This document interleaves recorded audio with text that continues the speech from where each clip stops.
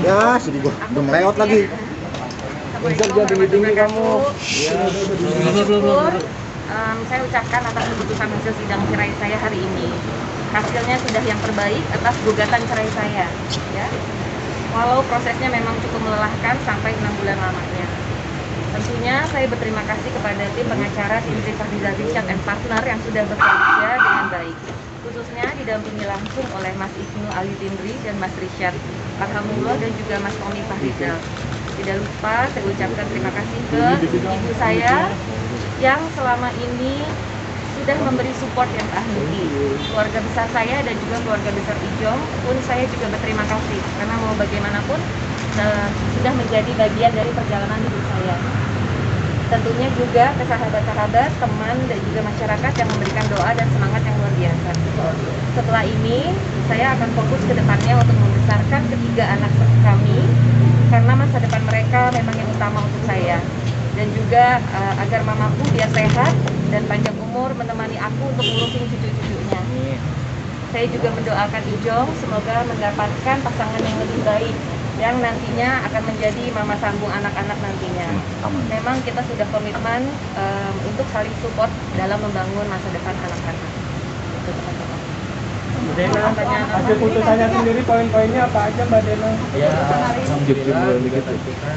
Mari kita ya. Depan nunduk dong, please dong. Di mana eh, hak asuh juga berada di tangan Ibu Dena, namun juga kita juga nggak akan memutus gitu lah kali silaturahmi. Eh, Bapak Agak kenceng, Kenceng, Bang, kenceng. Kapan aja, kapan pun dia mau sebagai karena mereka udah eh, udah sepakat untuk merawat anak bersama-sama.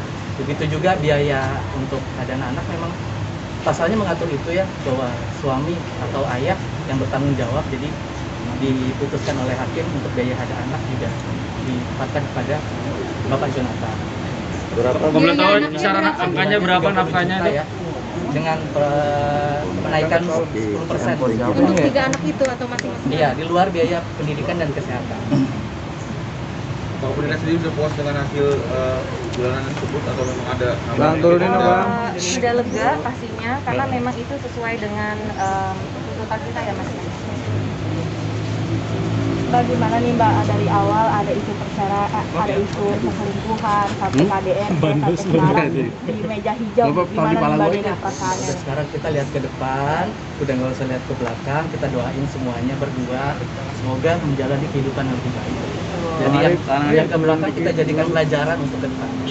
Karena memang ini kesepakatan eh, kita berdua ya. Tapi di sini saya tekankan lagi nih saya yang menggugat cerai ya. Jadi em, bukannya dia yang menceraikan saya ya, saya yang menggugat cerai. Memang saya yang menginginkan em, perceraian itu. Harta bunuh dirinya? Nggak. Ya, benar. Ya, udah. Kita nggak bahas. tapi sejauh ini sudah pisah rumah Pak Mbak Dena Eh, saat ini masih satu rumah. Ya semoga nanti Iya, ada, iya. eh, ada dulu. ya, ada kebijakan Aman yang bersangkutan. sebenarnya rumah tersebut akan dijual nanti sama Mas Ijong benar nggak sih Mbak Ya memang ada rencana gitu, tapi memang kan kalau jual rumah memang tidak gampang ya gitu. Eh, ada rencana sih. Gitu, Dan saya juga lagi mau cari eh, rumah apa rumah baru lah untuk saya dan anak-anak. Berarti nggak keberatan kalau dijual selama hal itu. Mau jual nggak masalah.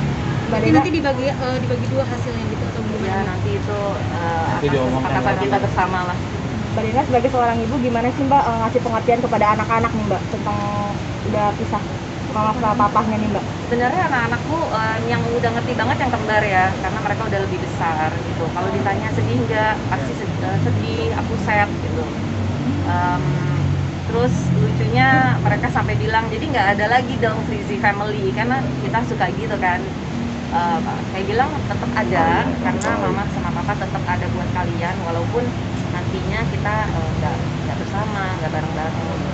Lebih pe- ngasih pengertian ke yang kembar sih, karena lebih lebih apa ya hatinya lebih fragile lah gitu, dibanding yang dedeknya Pembelajaran apa yang Adena yang didapat dari proses ini? pelajaran apa ya ya em, mungkin saya juga sebagai seorang istri mungkin juga banyak salah. Mungkin saya juga em, apa namanya harus banyak introspeksi diri gitu. Dan em, ya ini pembelajaran hidup lah buat saya.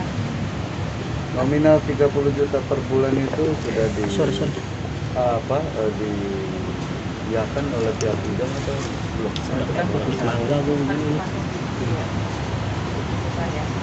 Tapi mau berapa intinya kita juga nggak terlalu mempermasalahkan. Nanti biarkan ibu Dena sama Pak Jonathan ya saling berdiskusi. Sebelum ke sini ada komunikasi dengan Ijong mungkin Mbak Dena? Hmm, enggak sih. Enggak. saya menghindari aja sih enggak maksudnya em, ya kita eh, kita berkomunikasi memang sekedar urusan anak pendidikan anak dan juga kesehatan anak itu aja. Selebihnya udah tidak apa ya tidak ngomongin soal perasaan gitu enggak sih dan nggak usah nggak update update ngapain gitu. Jadi lebih hati-hati nggak dari oh tentu dong. Jangan salah pilih. Gitu. Oke, masih ada yang mengganjal mbak? enggak sih justru lega banget. Memang ini, ini yang diganjel nih. Karpet lega banget memang ini yang saya mau ya gitu loh. Jadi em, saya sih cuman lebih bukan em, karena status saya yang berubah ya gitu loh. Saya lebih em, ke hak asuh anak aja gitu. Karena saya sebagai seorang ibu ibu mana sih yang mau dipisahkan oleh anak-anaknya? Dan kalian tau lah kedekatan saya sama anak-anak tuh luar biasa. Itu aja sih. Jadi saya nggak mau dipisahkan aja sama anak. Dan eh, alhamdulillahnya ya terkabul dikabulkan oleh majelis hakim. Ini yang artinya masih membuat perasaan Mbak Dena sendiri ketika melihat di malam hari melihat anak-anak tidur masih ingat dengan harmonisan. harmonisan dulu seperti apa gitu. sekarang gini mas em, ya kalau dibilang harmonis kayaknya udah nggak bisa ya karena em, kayaknya udah udah udah mulai kaku gitu loh udah kaku. Lah kita sempat hari minggu kemarin kita pergi bareng tapi sudah kayaknya udah kaku aja. Udah nggak bisa fun lagi udah nggak bisa ceria lagi Em, jadi lebih baik mungkin ke depannya kalau kita pergi dengan anak-anak ya kita akan atur waktu masing-masing gitu ya kan jadi waktunya bersama papanya saya akan kasih waktunya sama saya ya pasti anak-anak eh, setiap hari memang satu saya Mengobati perasaan anak-anak nanti ke depan seperti apa Mbak? Handphone, handphone oren dong, handphone oren, oren. Merah HP. Merah handphone, HP merah. mungkin mungkin bisa aja tapi mungkin nggak sesering seperti biasanya biasanya kan kita hari minggu bareng gitu ya gitu ya Ini saya berlapang dada ya misalnya Pacaran gitu, karena demi anak ya tentulah gitu loh. Apalagi nanti bulan April anak saya yang kecil mau ulang tahun ya. Semoga bisa lebih dengan seperti ini eh, yang bersangkutan bisa lebih enak ya hubungannya sama saya gitu loh. Lebih lebih legowo. Oke. Oke. Ya. Artinya eh, ketika bertemu di satu eh, lingkungan gitu ngobrol seperti apa sih? ya itu dia Atau ngobrolnya soal gitu. soal kesehatan soal anak pendidikan anak itu aja sih dan anak sakit memantau nggak sih dengan kalian eh, bilang berkomunikasi gitu. enggak sih anak-anak enggak enggak enggak terlalu Mbak mengobati rasa perasaan anak-anak ini gimana nih Mbak setelah melihat kejadian seperti ini? ya kita kasih apa ya Pengertian lah, Pak. Apa yang sudah pengertian apa yang sudah diberikan? Itu untuk me- melupakan sedikit apa psikologi Jadi, anak kan? saya selalu ngajarin anak-anak itu mereka harus happy aja gitu loh. Jadi apa pun yang terjadi di kedua orang tuanya pokoknya anak-anak tuh happy bermain sekolah gitu. Supaya mereka nggak apa ya nggak tahu deh gitu loh. Makanya saya nggak pernah nanya ini anak saya nggak pernah nonton TV takut lihat infotainment gitu kan ya. Ya. Oke. Oke, makasih. Sabar Mbak. Aduh cantik banget sih Dena. Putih banget sih Mbak skincare-nya apa Mbak?